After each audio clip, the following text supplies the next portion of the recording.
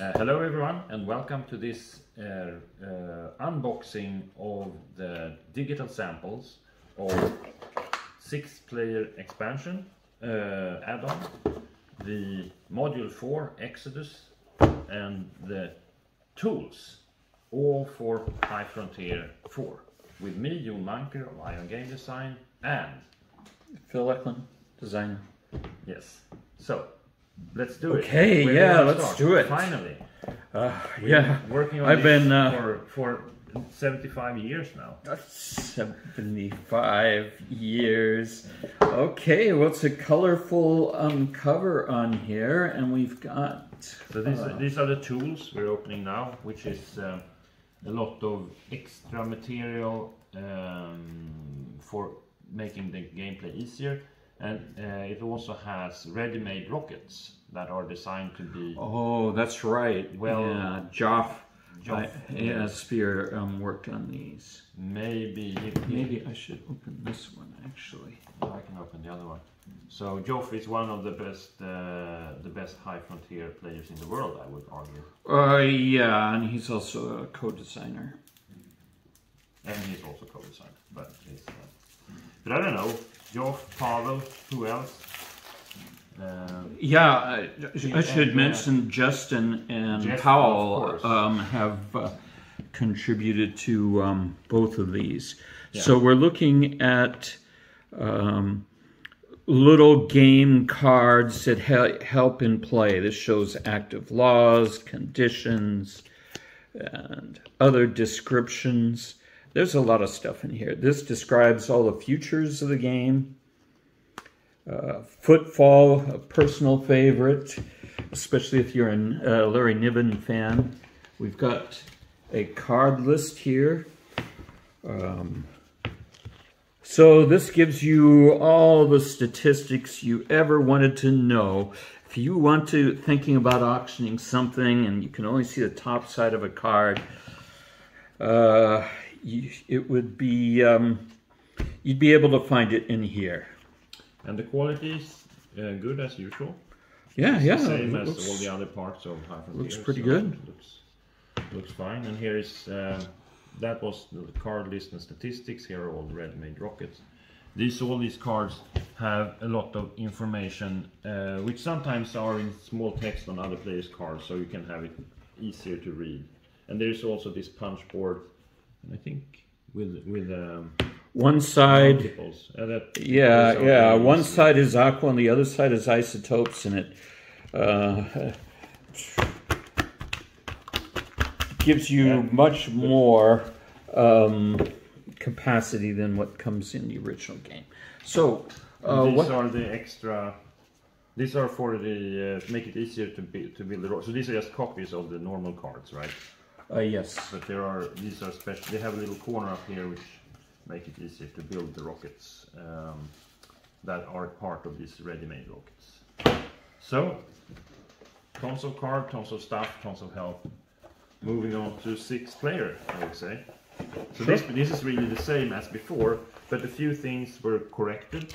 Uh, and this is just makes it possible for you to play High Frontier with six players, including a grey um, player. And this is all you need for mod core game module 0, module 1 and module 2.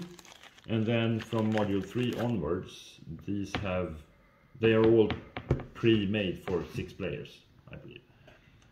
That's correct. All the modules um, include the capacity for the six players so, to use these components. And here's a little mini uh, punch board. Uh, these ones, even the small one, come out very good. And then you have a little. This one is not really used, but it's a nice little feature. And this logo. You can you can put it somewhere nice. Okay. And you have boards here as well. The board seems so. The, that one was good. This one seems to be correct. The stars are orange. I guess that's what's to be expected. Yes. Yes. And these ones are player board, extra player board, so it should be the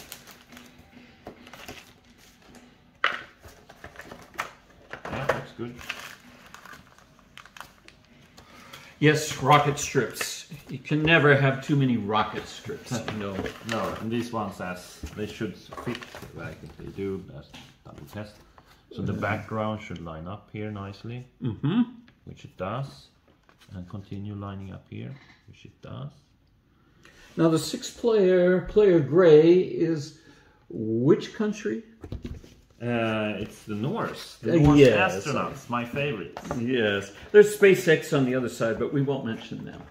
No, they're they're uh, not on par with Norse astronauts really. Yes. Uh, And then we have uh, the main event, module Main event. four.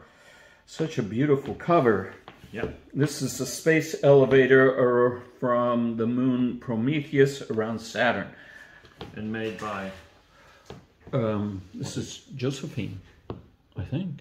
no this this cover. No, Josephine didn't do this one. She's uh, this must have been Anna, I think. Okay, maybe it was Anna. Alright. Well, shouldn't forget these things. Uh, and so the- What if she looks at this? Uh, You will be condemned forever to shame. Anyway, it says back here. Uh, yes, cover image Anne Isaksson. Yep, Anna Isaksson. Very nice. So these are the rules for module four. We go to 44 pages. Um, and this includes listing of the future. So there's a lot of background um, here. The module four solitaire games and some of the expansion stuff for the Unionist Wars, the Exodus um, scenarios, special Exodus scoring, things like that. So the rules itself for um, the uh, for the contracts and the ISO bank and monetization. That's that's uh, that's about half of it here. Yeah, and that's a thing you bring up there is, is good because, as always, you can play uh, the any selection of modules uh, with High Frontier. So there needs to be a little special rules for you know certain combinations. But one thing which is in here, which is and, and Justin was a co-designer on this one, and he's done a great job. Uh, and one thing in here, which is uh, his and maybe mine as well, favorite, uh, is the contracts, and that's really something you could yeah, I could advise you to bring in. I mean, normally uh, later modules might be to, uh, I mean, not something you start off with. But this one, the contracts are great for, for even new players of High Frontier. Yeah, And you can select only this and, and skip the other stuff. Um, if Justin always says once you've played it, you'll never play without it because um, these contracts give you money up front to do things that maybe you wanted to do anyway. So, how do the cards look? looks good. Looks really good actually. This one is slightly off center, but that's uh, was just with that one. The other ones are great. So now it's and it was we're talking a tenth of a millimeter. So. I'm going to open these guys up. These are the colonists, new colonists just for Module 4.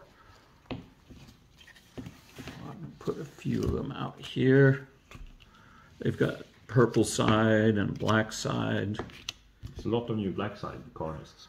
Uh, yeah, yeah, these are um, the robotic colonists, the black side ones. And then we have some boards. There's a new um, politics board because there are new things going on on that. Yeah, And this is also module 4 prepares for uh, Interstellar. So if you play module 4, uh, as you all may know, I love uh, the faculty of having games affecting the next game. So you can play an arch of games. So the, the in a campaign. in a campaign style. And if you want to go the grand campaign from Genesis, Megafauna, Origins, High Frontier, and then the natural step to go to Interstellar is that you play using Module 4. So if you want to do that campaign, you should really play at least High Frontier with Module 4, uh, or High Frontier with at least Module 4, because then you get the setup for continuing into Interstellar. Right. It introduces an ISO bank which accumulates enough ISO fuel for a starship. Oh yeah, this map show is a pretty clever map. It shows you where all the hazards are and aren't to help you plan your trip. And um, also to help plan contracts too. There's a lot of contract information on this map. Here are uh, little cheat cards showing augmentations because in this game you can augment your cyborgs and colonists with uh, various enhanced abilities. Then there's another player A for the stuff included in this game. Uh, yes, yes, the normal player aid. right. This is um, designed by Joff. And it comes with one, two, three, four player aids. Yeah, four copies. So an extra sheet for the standard game player aid. And then we have the punch board. Also good. Yeah, these show the augmentations and they're a little icon for their special abilities. Here's some extra medallions. There's a default chit for um, uh, if you're late on a contract. Um, there's also um, pieces to show on the sunspot cycle whether or not you're late or not. So, there you have it. Thank you for watching. Uh, everything looked good at first glance. Now we're going to look through these very, very carefully, uh, following a strict routine that we have developed here and a bunch of steps.